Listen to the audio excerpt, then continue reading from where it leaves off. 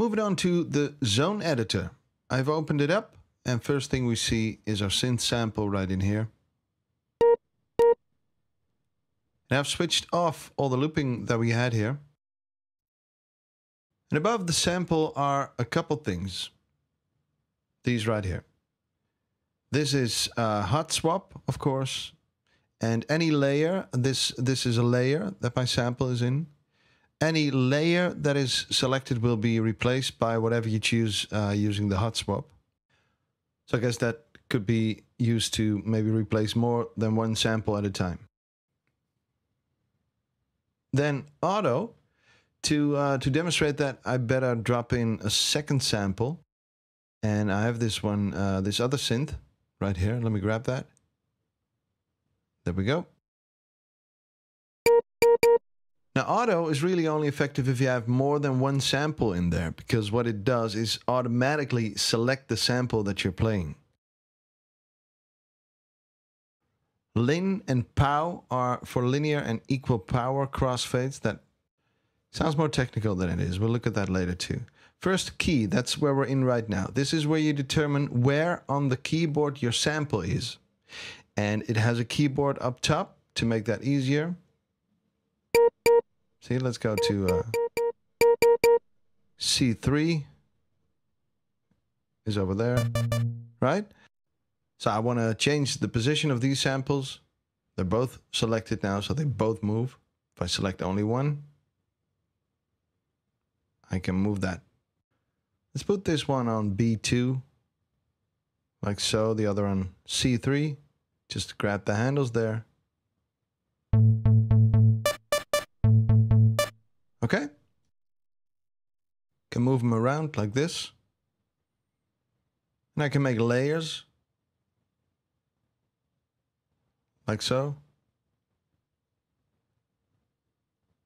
I can use uh, crossfades too. And this is where the where the fades come in. It's now on linear. That gives a very straight crossfade. If you look closely, you see that tiny little bar. You use that to uh, to set the crossfades. This one right here. I should totally do this the other way around, of course. So the longer the fade is, the more the color fades out too. That's smart. See, it's gone here now. If I make this a little longer.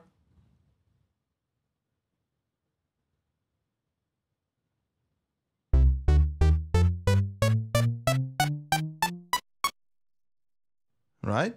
So that's the key editor with the crossfading. We put this all back.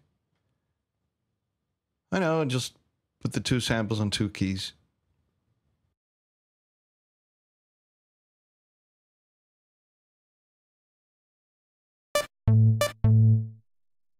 Right, velocity then. You know, actually, let's go back and put the samples on the same keys again for this. Makes a lot more sense.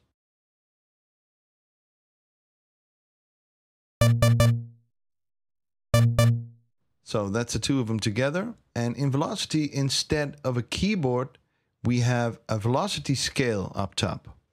Works the same, whatever sample is selected will get affected like so. So I want this sample to only play when I hit the keys with the velocity of, let's say, up until 70 maybe.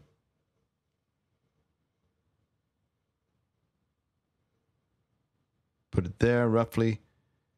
And the other one above that.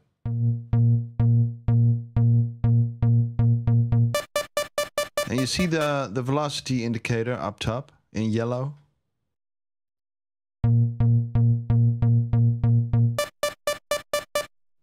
And like the key editor, you can crossfade these two.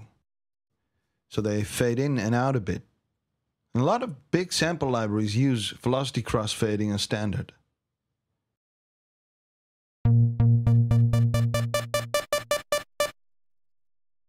So that's the velocity editor. Let me get this all back um, to where it was.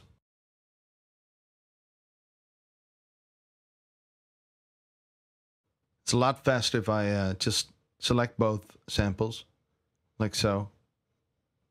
And boom, and uh, on the other side too. All right, now the selection editor is something else. Let's go to the next video and see what that's about.